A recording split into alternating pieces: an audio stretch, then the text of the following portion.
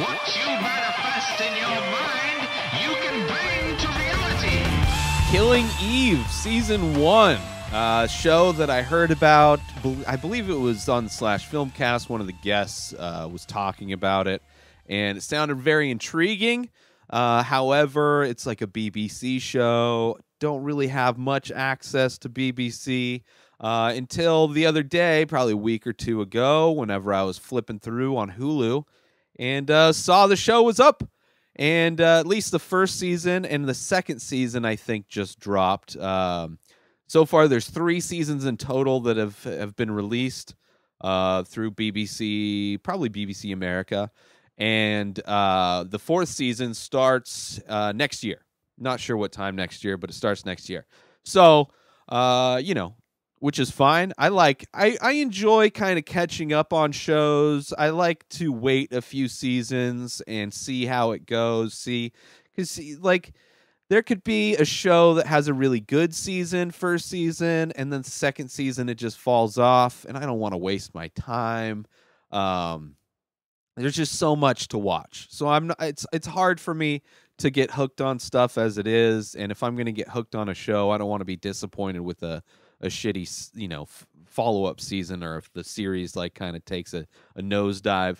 Uh but this one I heard good things. Uh, and I'm a big fan of Sandra Oh, who is uh, one of the leads. Jodie Comer is the uh, other lead, I would say. Eve uh, is played by Sandra Oh, who's part of a secret investigation group or becomes part of that. Like she's kind of a desk jockey at first, um, but she strives for more. I mean, she's like very much like a office kind of nerd, um, but wants to be, you know, an action hero in a lot of ways. She wants to be uh, more involved with uh, tracking down these assassins, which she's kind of works for a group like MI6 or whatever, um, kind of trying to track down these assassins and and whatever. Um, and then Villanelle is the the assassin, uh, played by Jodie Comer, and uh, amazing, amazing. Like the the acting, the writing, the story, everything is great. It's high level, high quality. Uh, Villanelle, the assassin, very much John Wick like. Right? You don't have to be necessarily told how good this assassin is. You just kind of see how clinical and robotic they are when they're performing their tasks. Like John Wick in a in a gunfight, you can tell that he's like there's a there's just no wasted movement. Everything is very precise and very clean and uh the way that this character is portrayed is very similar to that. Um just just like you can tell she's a high level assassin just by how she's able to do things. Like there's a scene where uh Sandra Oh's character she's going to interview somebody there's a you know somebody that they they were able to uh, detain and she's trying to get more information on this female assassin that nobody believes. Like there's only one female assassin on record that's still alive. So this is a new assassin that just kind of came out of nowhere. And she it's like it starts off the first season where you know she's having to prove that she even exists because Villanelle is like so good that she's just undercover. But Eve has been tracking her. She's been she has multiple cases where she believes it was a female assassin, and now she has an opportunity to kind of prove that theory real. Um, and there's a scene where she's in a bathroom right just she's like waiting to get access like she has to wait because the the person she's going to interview is in a hospital and she's kind of under you know care and so they're like you gotta wait here while we get patient ready to kind of come in. And while she's in the bathroom uh she they it's one of those scenes where you know the investigator and the criminal kind of unknowingly cross paths uh and they don't find out till later. Um and it's just and then when she walks out it's like the whole floor is silent. And then you find out through like this long camera shot and amazing acting from Sandra Oh. Like you find out that just like like there's a phone ringing and that's like the only noise going on in this whole floor of this hospital. And as she's going to like track down she's like holy shit where is everybody? Somebody like and then she gets she sees that like her the person that she's going to interview that has potentially the key to kind of unlocking who this person is. She's like dying she's bleeding out and you see everybody just like nurses and attendants everybody's just stabbed and dead and it's just it was just within a matter of seconds and there was no like loud noises. So it's like a scene that clearly shows the the level of precision that this assassin without having to even show you because you you're you're you're basically following Eve throughout this whole kind of scene and just how it's how it's written how it's done instead of you know showing you like trying to kind of formulate how she would even do this uh they just cut through and it just it's played so well. Sandra oh is just an amazing actress.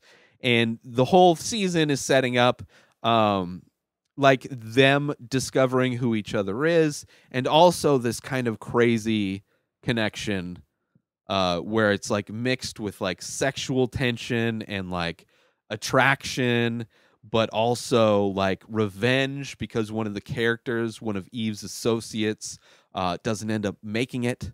And it's kind of it's like that episode where the where her her buddy dies like it sets it up where it's like you he's uh, like the very start of the episode he's holding his like newborn baby and he's like an older guy and it's it's like it's just like setting up that this guy's just a normal family guy but he wants to get in the shit again like he kind of has the same uh passion that Eve does to kind of you know be more involved with these investigations and it's just a crazy it's just all these episodes are so well done. The writing is so well done. I'm excited to watch i stopped watching uh, i didn't haven't watched season two yet at all.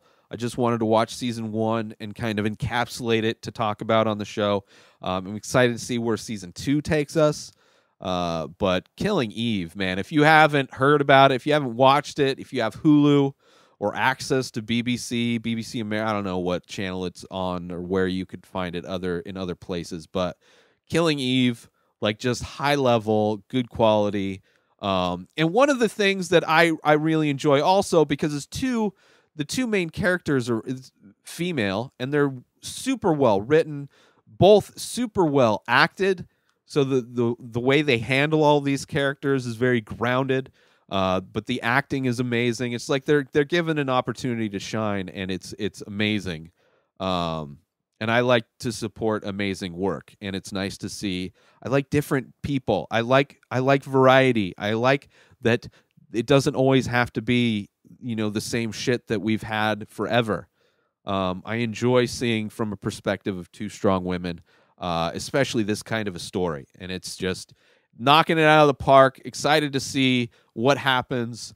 Uh, you know in the in the series. I don't know where they can go with it but it has that kind of like tension and well writtenness and acting to like a breaking bad kind of a kind of a tonally and then also uh, just really strong kind of characters that are you know but also kind of like heat also you know where you have the the investigator trying to track down uh the criminal um, so just just great stuff. Uh, looking forward to season two and season three. So I'll talk about those as I watch them. Uh, so check those out. Keep an eye out for those because a new episode of the Ray Taylor Show does come out every single one episode every single day. Subscribe everywhere you find podcasts, and if you want to watch the show, you can do that on YouTube and on Instagram, IGTV.